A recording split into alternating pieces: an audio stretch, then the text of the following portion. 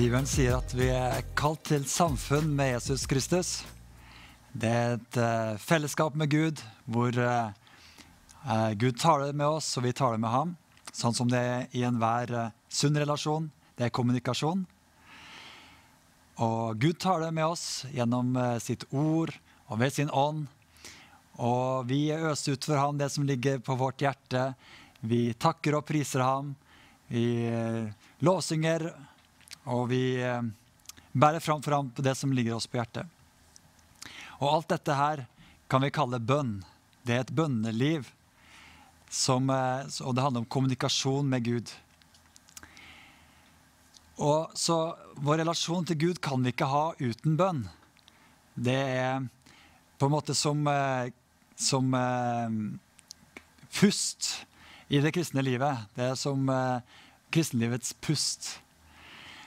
Og det ser vi jo når eh, Jesus eh, gikk omkring her på jorda, eh, hvor ofte han, han dro seg tilbake for å, å være i bønn til Gud. Han samtalte med sin far, han brukte mye tid i bønn. Og når, vi, når han prioriterer bønn på denne måten, så forstår vi at det er en veldig betydningsfull del av det kristne livet. I eh, Lukas 5,16 så leser vi om at eh, store folkemengder kom for å møte Jesus, for å høre på ham og for å bli helbreda for sine sykdommer. Og da står det at, eh, at selv trakk han seg ofte tilbake til øde steder og ba. Så midt i sin travelhet og midt i alt det han sto midt oppi, så prioriterte Jesus bønn og stillhet og tid alene med Gud. Og så Det var en livsstil av bønn som Jesus modellerte for sine disipler. Og det er klart, dette, Denne livsstilen fanga disiplene opp. De fortsatte eh, en livsstil av bønn. Vi leser en lite, liten detalj i Apostlenes gjerninger 3. At eh, Peter og Johannes gikk en dag opp til tempelet til ettermiddagsbønn ved den niende time. Så her hadde de eh, en vane som de hadde egentlig i den jødiske tradisjonen av, av faste bønnetider, og som disiplene også hadde etter at Jesus eh, for opp til himmelen.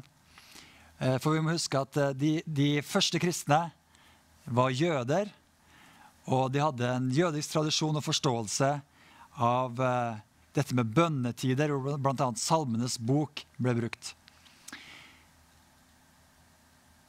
Et eksempel på her bønnerytmene ser vi hos eh, Daniel, profeten Daniel. Det ble jo forbudt å be på et tidspunkt til den andre enn kongen. Men det står at tre ganger om dagen falt Daniel på kne for sin Gud med bønn og lovprisning, slik han alltid hadde gjort det. Så Daniel fortsatte med den vanen han hadde, av tre ganger om dagen å be til Gud. Og Så leser vi da videre i apostlenes gjerninger eh, om de første kristne, menighetens liv, at de holdt seg trofast til apostlenes lære, til fellesskapet, til brødsbrytelsen og bønnene. Og disse bønnene hadde de jo først og fremst eh, lært gjennom den jødiske tradisjonen. Det var noe som de hadde med seg eh, som jøder, men de hadde også sett eh, Jesu bønneliv, og de fortsatte på den samme veien. Så eh, etter at Jesus for opp til himmelen, så står det at disiplene holdt trofast sammen i bønn.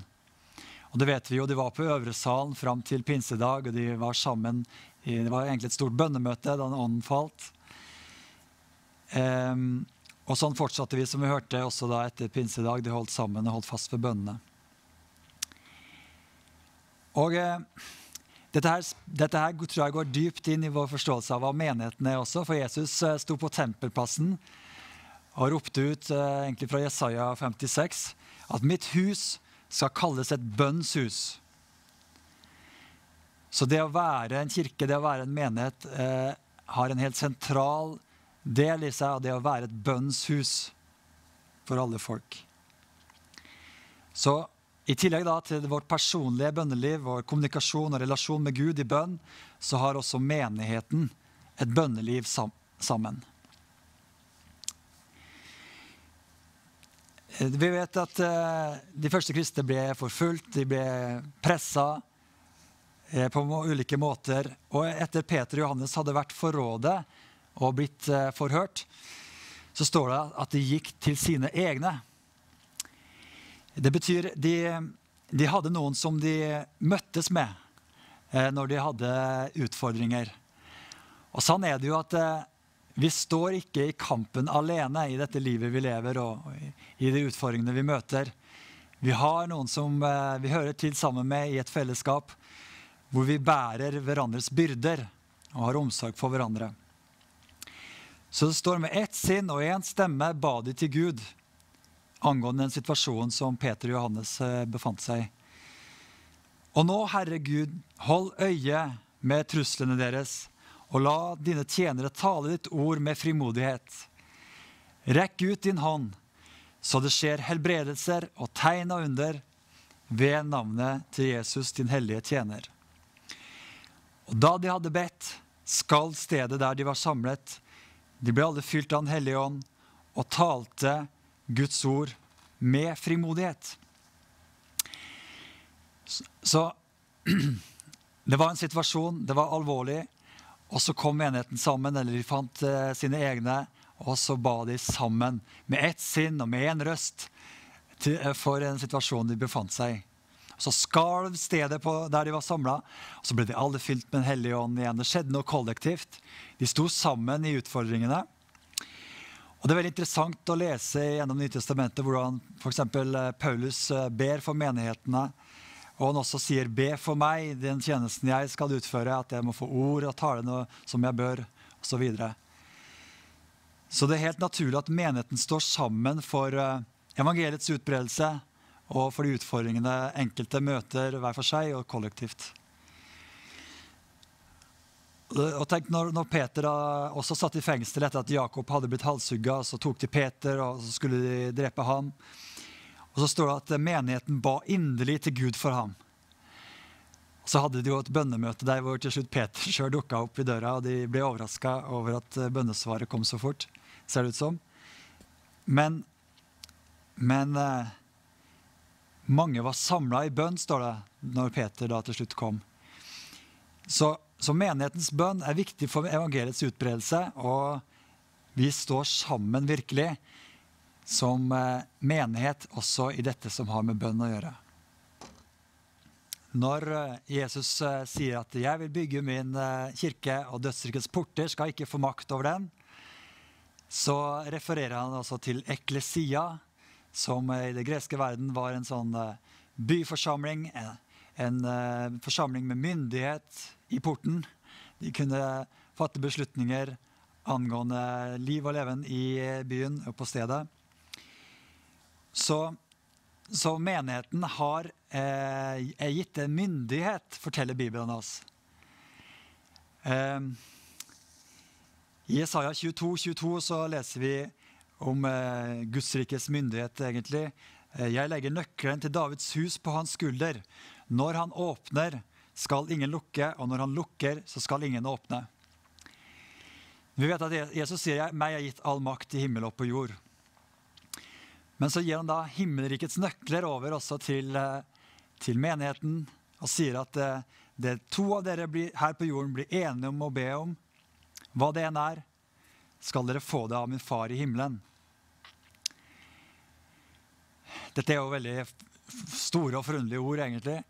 Men Jesus sa jo det at når to eller tre er samlet i mitt navn, så er jeg midt iblant dere. Og på Jesu tid så var det også slik eh, i det romerske riket at eh, når to eller tre romerske borgere var samlet, så var Rom i, eh, opererte Rom der, det romerske riket, mellom dem.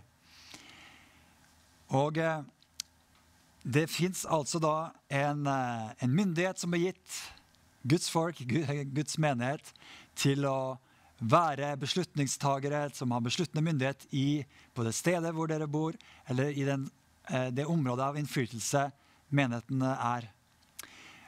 Og da trenger vi å tenke menighet litt annerledes enn bare det at vi kommer sammen på en søndagsgudstjeneste for å møte hverandre og ha oppbyggelse.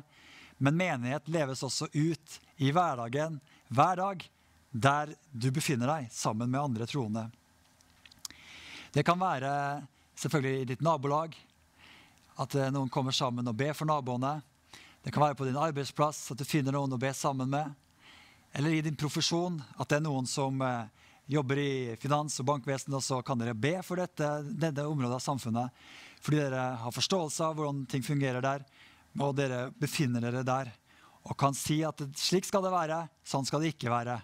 Å stenge og lukke, men også åpne så ingen kan eh, stenge.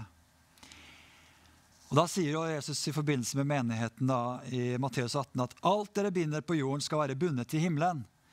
Og alt dere løser på jorden, skal være løst i himmelen.